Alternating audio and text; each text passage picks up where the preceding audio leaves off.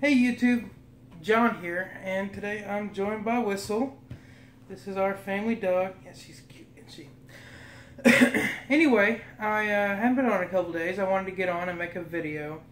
So I'm trying something new. I started this on, I guess, Wednesday, Wednesday morning.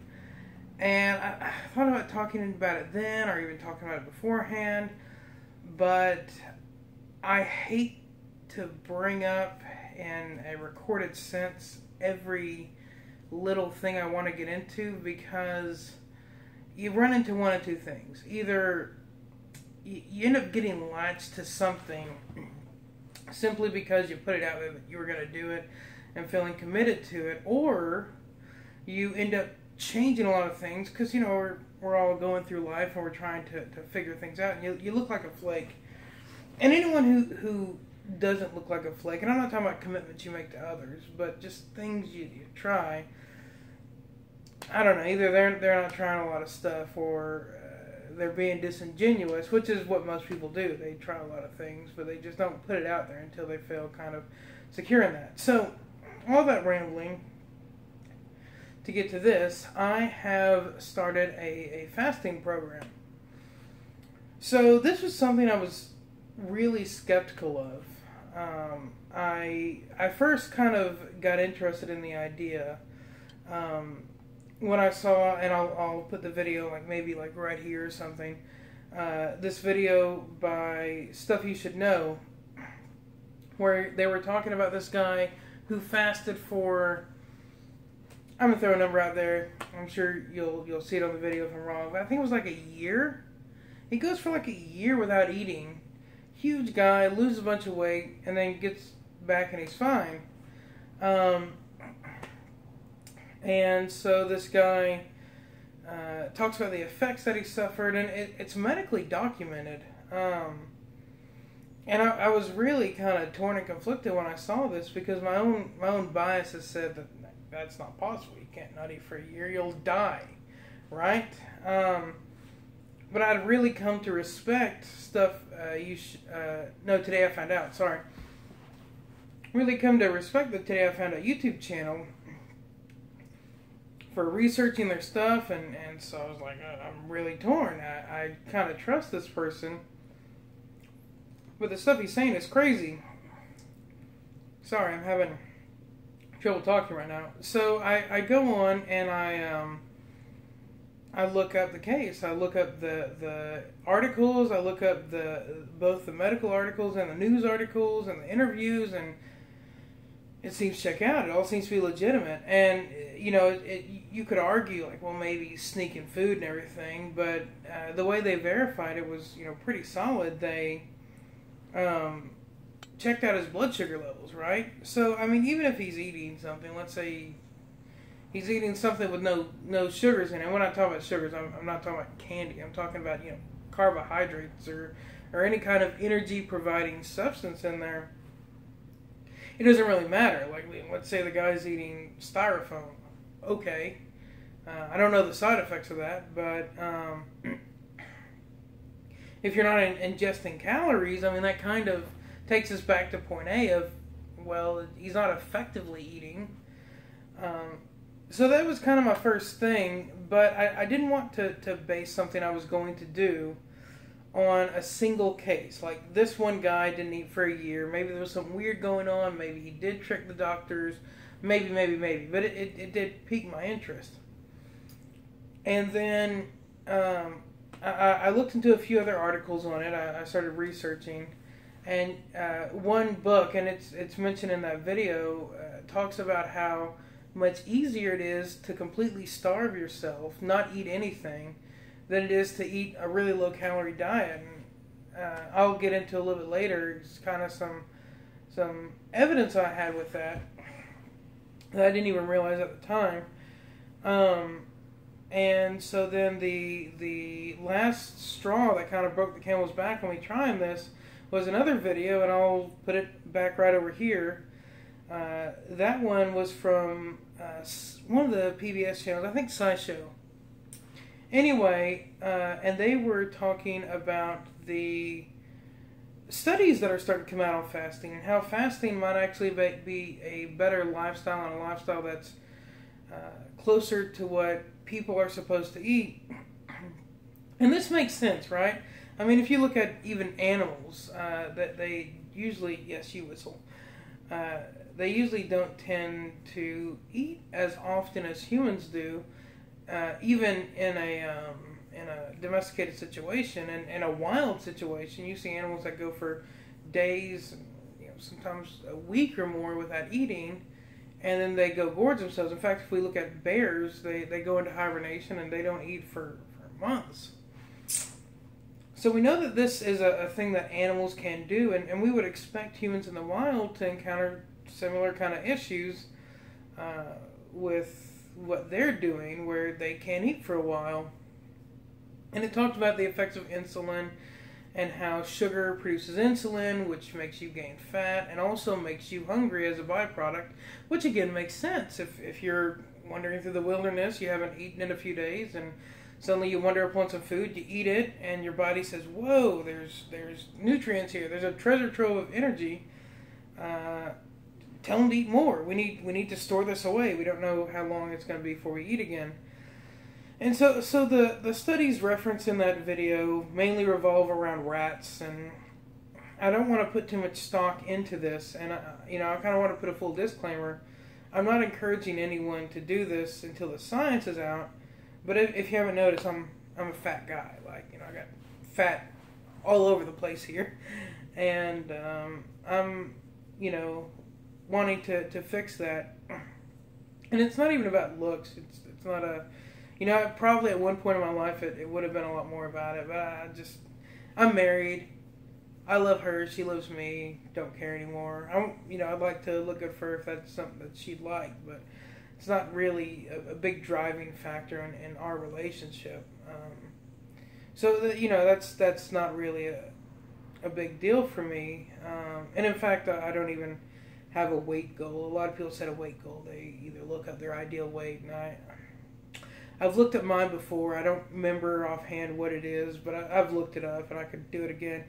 But I don't have a weight goal. I don't actually uh, think of it in those terms. Actually, my goal is this, and it's going to require a full kind of health overhaul, uh, both strength wise and, and weight wise and other things. Uh, I want to do a pull up. I want to be able to do a pull up and uh, you know get to where you know maybe once I can do one, I can do more uh, but if I weighed, you know, I'm I'm sitting uh, fully clothed at around 273 right now. If I weigh 273 and could do a pull up, boom, I've, I've met my goal, and I, I feel like you know you're you're probably uh, somewhat healthy, uh, maybe not as healthy as you could be, but somewhat healthy if you can take and lift your weight in the, the manner that somebody you know scaling a wall would have to do without the use of your, your legs.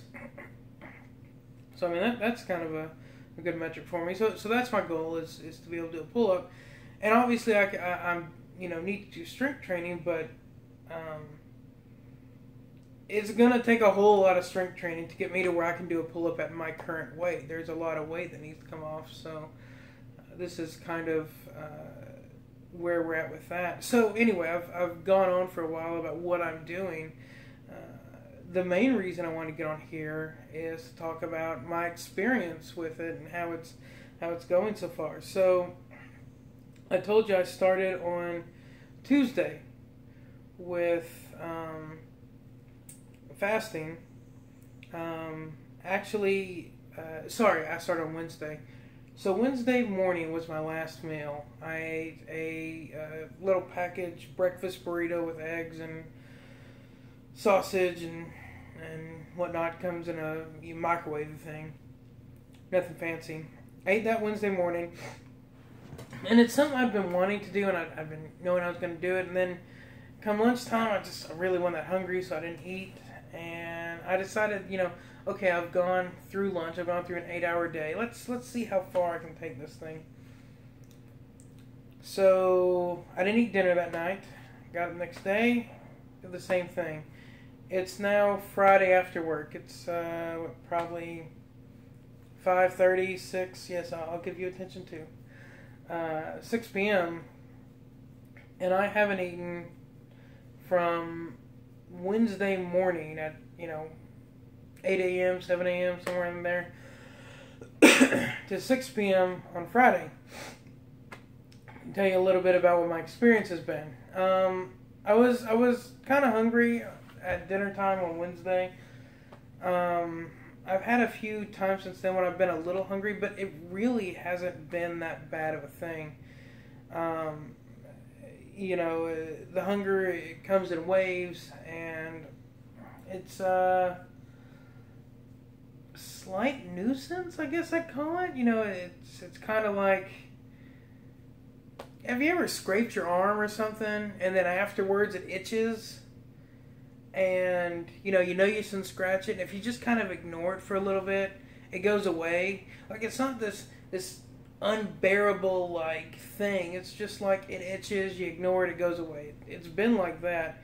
And i, I was really surprised at how really undifficult this was to do. Um, and it's i shouldn't be so surprised about it uh, because about five years ago, I, I got really good with losing weight. In fact, I was about where I was now when I started then, and I cut about 50 pounds. Uh, maybe maybe only 40. Uh, it was it was significant. It was 40 or 50 pounds, and um, I, I did it. I ate a very regimented diet. I ate for months the same thing every day, and it it wasn't a problem. Um, it was actually a little more difficult than what I'm doing now. But I'd go to McDonald's and I'd get a salad. Every once in a while, I changed it up and I had two snack wraps instead of a salad. But I had a salad every single day. I had a, a Newman's low-fat balsamic vinegar dressing with it and uh, at the time I wasn't even really looking at it as a fasting thing. It was a, it was a low carb thing for me, and uh, I just figured that would be enough. It'd be a salad, it'd be enough vitamins and minerals, and it had the protein from the chicken. It was what I needed to to keep going, and then I pull most of my energy from my fat reserves. Um. So I did that for months. I lost tons of weight. Uh, I was feeling great. I, I never felt bad. Uh, the thing that actually derailed me from the diet uh, was a, life change. I, I ended up getting engaged and, and later on married. And you know, for anyone who's who's been through this, you're gonna know what I'm talking about. I'm not blaming her. This was, you know, it was a net positive thing. It was a great thing, and and um, I wouldn't trade it for the world. But it's you know, it's just time to get focused again. But whenever you bring someone else into your life, you go from that, that single mode to, to either dating or, or even engaged. Your schedule is no longer completely your own. It, it now becomes, you know, time you're going to spend with someone else, and you have to agree on mutual activities.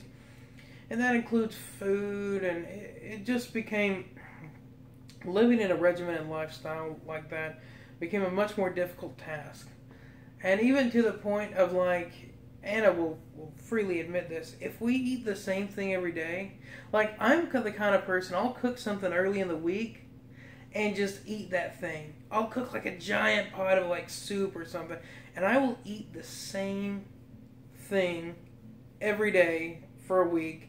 I don't care. Does not bother me one iota. It drives Anna crazy. So this idea of me eating the same thing every day became difficult, and um, there was also cost considerations and, and the extreme cost savings you reach when you, you buy things as a family instead of an individual. Uh, so so those those are concerns, cost wise as well as um, regiment wise, and, and you know live with Anna. And I had a short uh, period of of doing getting back on what I was doing before, eating a salad every day buying one at a at a restaurant, uh, but it the the it worked fine. I wasn't that hungry. I lost the weight. It was it was all good. It was just sticking with that schedule whenever there's other considerations in your life and other people, and even my stepson now. You know, that becomes a consideration and uh, six pack philosophy. and What I'm doing there, and all that stuff kind of piles up. So what I'm able to do here is is fast through normal periods, and you know one of the the, the part of the good news of this is is I don't have to worry about when social events come up. Because for instance, I'm breaking fast uh, tomorrow because we're having a game night here at the house. There'll be a lot of people over. Um, uh, maybe I'll, I'll get some video of us all having fun. I'll I'll see how the mood is going with that. Um, but there's gonna be a lot of people over, and I can just eat like normal when they're around. Um, don't have to be the weirdo guy. Hey, I brought this casserole. Y'all should all try it. And then you're like, I'm on a diet. That's uh, I can't I can't do that. And then you, you have awkward conversations. It becomes like a centerpiece of your life, and that's one part I always hated about this is making my success or my failure or anything like a centerpiece of conversation.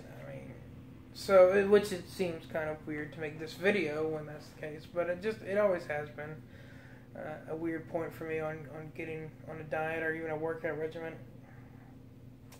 So I um um I'm I'm doing this and it's it's not costing me money because I'm not having to buy any food and it's uh, it's not been that difficult and it you know for whatever occasions come up I can eat and then go back to to the fast and uh, we'll we'll see how it works out. Um, I guess the only other thing I can add, I'm gonna keep the camera rolling. I'll probably cut this out to make it a little bit quicker, but show you some of the the ways I'm keeping sane while not eating. So I'll be right back. All right, I'm back. Um, Whistle decided that she had had enough scratches, so she left. But um, during my period of fasting, I'm doing a couple things. So I, I, I actually, I'll, show, I'll put another video here. I don't know who the creator is. I just subscribed to him. He's great. Um, but this guy kind of examines medical cases, um, and then gives a synopsis. And I, I, he he actually did a medical case. I think YouTube recommended him uh, this video because um, I looked at some stuff on fasting of somebody who came off fasting uh, too quickly, and because of that, it shocked their system, and they ended up having some serious medical complications. And one of the causes was a vitamin B deficiency, and you know that kind of uh, reinforced to me the need for staying on vitamins. They also had uh, issues with uh, magnesium so I wanted to, to keep on that as well. I don't want this to create another health issue for me. So I went and got some vitamins to take during the process. Uh, I am taking Equate Complete Multivitamin, which is more or less the, the off brand Walmart version of. Um, uh, uh, uh, oh gosh, I can't think of the name of it. Um, uh, men's. Is it Centrum? Is that the vitamin thing? I don't know. I don't remember what it's called. I think it's Centrum uh, is the is the brand. Oh, well, here I'll tell you. Uh, ingredients. A lot of these have compared to the ingredients in. Um, anyway, this one doesn't say compared to the ingredients in. Anyway, I think it's Centrum. Centrum Silver. Yes, Centrum Silver for men. That's what it is. This is the off-brand of Centrum Silver for men. Um, and then we have here a supplement. This is a calcium, magnesium, and zinc supplement. That's going to be your bone and muscle. Uh, so you don't you're not losing muscle mass as you do this, uh, which is another problem that people have if they go on extreme fasting. I don't know if what I'm doing is considered extreme or not. Um, so those are going to keep my system going while I'm going. One other thing, and this is a weird thing I ran into even five years ago when I got on my diet, and how that relates to fasting, I kind of skipped over there. Is it is what's called intermittent fasting when you only eat for a very short period of time every day, and it seems to be similar to, but not exactly the same as as longer form fasting, uh, which is why I shouldn't be surprised that this is. Uh, starting to, to show results. So, table salt, right? Water. you need to stay hydrated. Uh, uh, so much of the water you're getting every day comes from your food, more than you realize. So you got to make up for that. You got to drink water. This is also going to help uh, satiate any appetite that you have. Uh, I like to put ice in mine and eat the ice. Uh, it kind of helps give me something to chew. Plus, you need to swallow things because not swallowing for a long period of time can actually make it harder to swallow. So, where does this come in? This magical uh, compound, um, sodium chloride, is what your nerves use to move you around, to think, uh, to do all that, and you get so much of it in your food all the time. So you don't you don't need to eat this, except when you're not eating. When you're not eating, you need salt. Um, if you've ever raised rabbits, you put a little salt rock in there. If you've ever been to the, uh, the local farm store, they have salt rocks for horses. Animals need salt. Uh, wars have been fought over salt. In fact, the word salary comes from the word salt because it was such a commodity. You need to eat salt. So here's here's what happens. About twice a day, I get jittery. My um, my thinking starts to to break down. I uh, I'm having trouble remembering stuff. I I poured some salt in my hand. I eat it and I drink water with it because the salt's going to dehydrate you. So you need to kind of reinforce that with water. And then about, I don't know, 10 minutes later, I feel good again, right as rain. Uh, I drink coffee in the mornings. I'm not giving that up. Uh, but this this stuff will bring you back from that. Um, and you know, so often we're told how bad salt is, and in fact, I I wonder about what we're going to find in the future on that because uh, the CDC actually found a they weren't willing to change their recommendations, but the, the actually, there was a recent study done, and the study just looked at this: the amount of salt people consumed and how long they live. Now there could be other factors. There may be people who consume more salt, have more access to food or medical care. We know this. I'm not saying this is definitive evidence. People who consume the recommended amount of salt died earlier than people who consumed over the recommended amount of salt. On top of that, we need to be somewhat skeptical of the claim of the ill effects of salt because much of it is old data that was pulled from Chinese records where they used to consider it uh, kind of a, a, a hairy carry thing honorable to commit suicide by salt. They would actually ingest so much salt that it killed them. Uh, because salt was a rich man's commodity, so that was a rich way to die.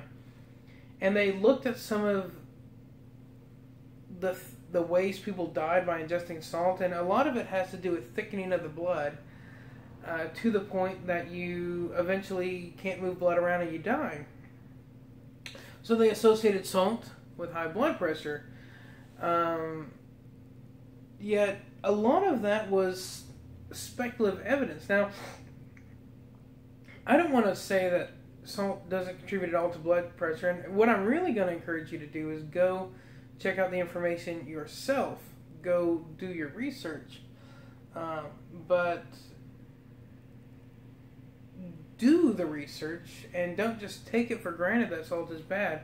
And also realize that studies that are done on sick people don't always apply to healthy people. Uh, you know, if you do a study on how sugar affects the body and you call a bunch of diabetic people, you're going to get different results than if you just do a random sampling. And the same thing is true with salt. If you call on people who are known to have high blood pressure and test them and their salt intake, you may find that there's a correlation there, but that may be due to the fact that they already have high blood pressure, and this is an accentuator of that. And the body is completely able to work with salt outside of that. I've kind of gotten on a tangent here with salt. I'm, I'm actually, you know, a, a little skeptical of what's going on there. And if anyone has any studies or, or, or, data that they, they would like to share with me on that, I would I would love to hear it. Um, but um, I- I've I found myself skeptical. But the point is, regardless of if salt is bad or good, if you're gonna fast, you need to eat it. So all that said, I want to you know end this with with a disclaimer. This is not an endorsement of this for you. Uh, even if even if you watch this and six months down the road I'm looking healthy and great and I'm feeling great, what works for me doesn't necessarily mean it works for you. Here's what I'm going to encourage you to do: do your research, check this out, um, check out some of those videos I've linked, and see what you think. See if this works for you. If you find another diet that's working right for you, you're going to your doctor and, and your numbers are looking good, and you're losing weight, you're feeling great. Don't don't necessarily do this. Do what works for you. But uh, I just wanted to share this, and you know, I guess you'll get a little bit of an experiment to watch me, because either I'm going to get healthier, I'm going to fail this diet in some way. I'm gonna like break my fast and not be able to get back on it, or I'm going to get unhealthy in some way. My blood pressure's going to get high. I'll die early. Maybe I'll have a heart attack, and you guys can look at this and say, "Well, I, you know, I might want to be skeptical of that." Um, so this is um, I'm documenting, and this is what I'm doing. So uh, thanks everybody. Um, talk to you later whenever I put a video out. Bye.